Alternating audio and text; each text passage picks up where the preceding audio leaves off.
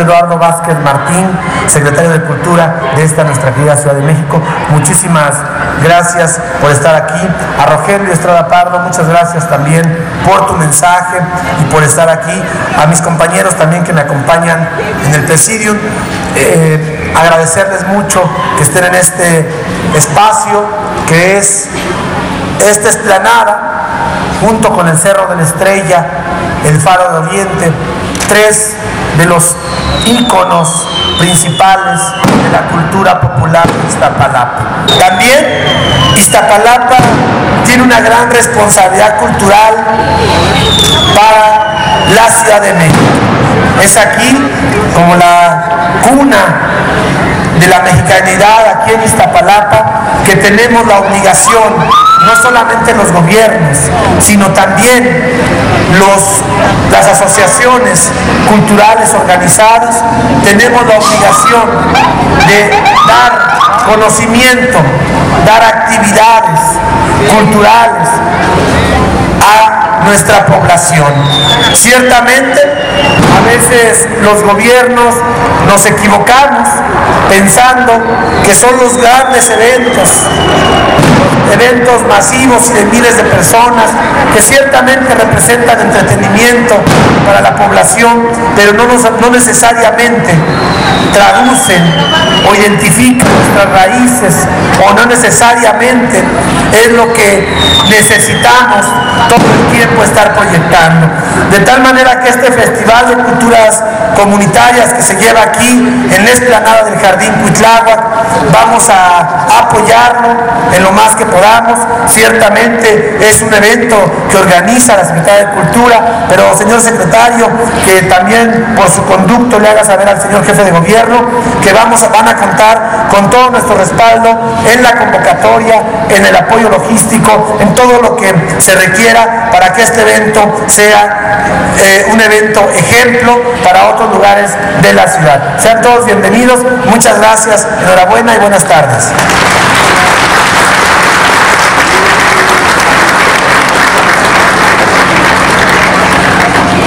Continuación, escucharemos el mensaje del maestro Eduardo Vázquez Martín, secretario de Cultura del Gobierno del Distrito Federal.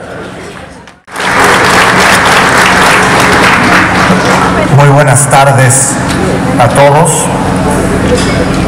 Licenciado Jesús Salvador Valencia, muchas gracias por recibirnos en esta delegación. Eh, esta es una actividad, y quiero subrayarlo, fundamentalmente realizada por la sociedad civil, por la Red Cultural Comunitaria del Oriente. La cultura, ustedes lo saben, aunque a veces eh, lo olvidemos, la cultura no la hacen los gobiernos, no la hacen las instituciones, la hacen los pueblos, la hacen las comunidades. A, a las instituciones públicas nos corresponde apoyar, nos corresponde acompañar, nos corresponde sentar las mejores condiciones para que esta eh, vida cultural florezca, para que su difusión alcance a todos los vecinos de la ciudad, para que la educación artística y cultural eh, sea, llegue a, quien la necesite. Es decir, para garantizar los derechos culturales. Durante mucho tiempo hemos pensado que la cultura, o se ha pensado desde las instituciones, que es una especie de adorno. Es, eh, es, un, es, un, es, un, es un hecho no fundamental, no de primera necesidad, por eso tantas veces es tan castigada en los presupuestos. Pero cada vez se impone más, entendemos más, que la cultura es fundamentalmente una serie de derechos de todos los ciudadanos. El derecho a la cultura tiene que ver con el reconocimiento de la diversidad cultural. Y esto se traduce en el derecho a manifestar esas diferentes identidades. Nuestro país, nuestra ciudad, Iztapalapa, es ejemplo de una profunda diversidad cultural. Esa diversidad se traduce en eh, gustos, en placeres, en formas de manifestar nuestra concepción del mundo, en maneras de organizarnos. Tiene que ver con lo que comemos, tiene que ver con lo que pensamos, tiene que ver con nuestras formas de recordar a nuestros muertos, de celebrar nuestras eh, eh, festividades. Este común, esta, esta diversidad cultural es nuestra riqueza. Hemos dejado de pensarnos como uno solo, homogéneo, único. El México, aquel país eh, mestizo de la raza de bronce, que bajo esta idea se homogeneizaba la inmensa diversidad de nuestras formas de ser. Hoy sabemos que somos diversidad. ¿Y qué manera de manifestar esa diversidad que la organización ciudadana, que la organización de los, eh, de los colectivos a través de sus diferentes talentos, de sus diferentes vocaciones, de sus diferentes gustos? Por eso, lo que estamos haciendo aquí, tanto la delegación Iztapalapa como la Secretaría de Cultura, es acompañar a la red de colectivos. Una red que es en sí misma un espejo de este crisol. Esta convocatoria de hoy, en esta convocatoria participa la Asamblea Comunitaria Miravalle, un ejemplo de trabajo colectivo que eh, es, es, es, perdónenme la reiteración, ejemplar. Es un referente de organización comunitaria en la ciudad y lo es para el país. Está también Cultivamos Juntos, la Casa del Pueblo de Santa Cruz Mellehualco, la Casa de Cultura Imaginarte, el Calmecac, el Centro Cultural Tagrami Cooperativa Cultural, está Enredarte, el Foro Art, Artistas Urbanos en Resistencia, el Desarrollo Integral Comunitario Iztacalco, DICIAC, el Centro Cívico Barrial Estado de Anáhuac, el Museo Comunitario de San Miguel Teotongo, Humanidad Sustentable, Senartec, Acahualtepec, el Foro Cultural Quetzalpini, la banda del libro rojo, la cooperativa de producción editorial Agua sobre las Lajas, la univers Universitarios en Resistencia, Ediciones Lago, Casa de la Cultura Las Jarillas, J. Ajolotl, la OJR, la JS Banda, el colectivo Yolotecuani, el colectivo Mestli, el colectivo Mixcapeña y diversos colectivos de la Fábrica de Artes y Oficios El Faro de Oriente, colectivos de Iztapalapa, pero también de Iztacalco, de Tláhuac y de eh, municipio de Nezahualcóyotl. Esta obra colectiva refleja una, una salud pública cuando la sociedad se organiza y nos impone la agenda a las instituciones, cuando la sociedad nos dice para dónde y nos convoca a caminar juntos, es que se trata de una sociedad activa, de una sociedad libre, de una sociedad con iniciativa. Por eso estamos de fiesta, estamos de fiesta porque en Iztapalapa las organizaciones sociales tienen una agenda cultural. Estamos contentos y estamos celebrando porque en Iztapalapa la sociedad se organiza también, además de las formas tradicionales en defensa de derechos, de vivienda, de seguridad y de servicios, se organiza alrededor de sus derechos culturales y de sus demandas culturales.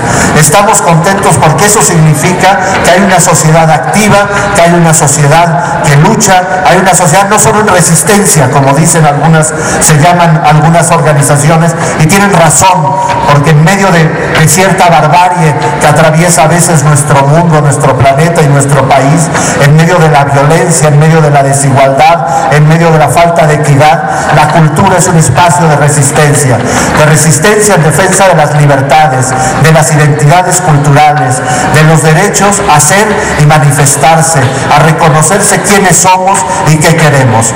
Así que seamos todos eh, bienvenidos y celebremos juntos este primer Festival de las Culturas Comunitarias Felicito a la delegación por apoyar esta iniciativa. Los felicito a ustedes por tenerla y encabezarla y por permitirnos estar a su lado esta tarde.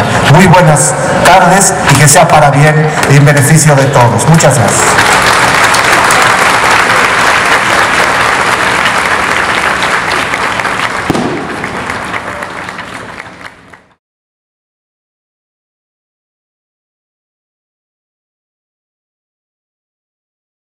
Hacer una ceremonia de apertura para pedir permiso. Lo hacemos eh, pegaditos a la tierra, ahora lo vamos a hacer en este foro. No somos un espectáculo, lo hacemos porque, creemos en nuestras raíces. Eh, no somos un show, lo hacemos con mucho cariño, le lanzamos a la tierra, le lanzamos al sol, le lanzamos a los elementos. Eh, les pido con mucho cariño que, que- que sigamos la ceremonia. Vamos a hacer la apertura, luego haremos unas danzas, al parecer van a ser cuatro, y ya luego eh, haremos un canto, una canción que le compusimos a Iztapalapa. Eh, mientras tanto, pues vamos a, vamos a comenzar. Paso Camal.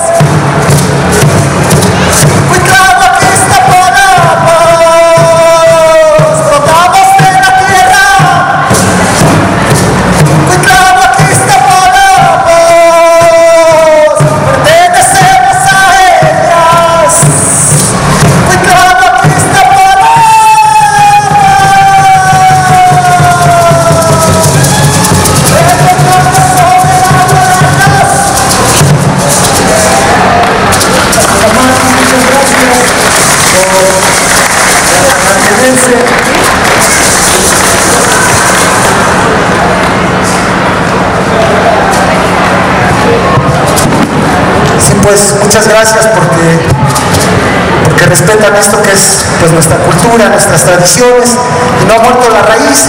Aquí sigue el espíritu invicto de, de Cuitláhuac, sigue nosotros, nació con nosotros otra vez, retornó, y ahora en el resurgimiento de Anáhuac. Pues vamos a ot- otra canción de las que cantamos en, en el Temazcal.